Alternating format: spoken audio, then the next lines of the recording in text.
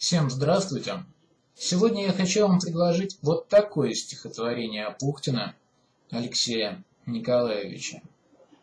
«Прости меня, прости, когда в душе мятежный угас безумный пыл, с укором образ твой, чарующий и нежный, передо мной всплыл.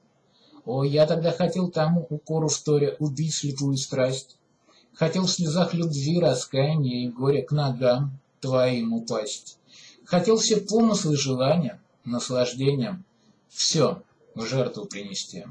Я жертвы не принес, не стою я прощения. Прости меня, прости.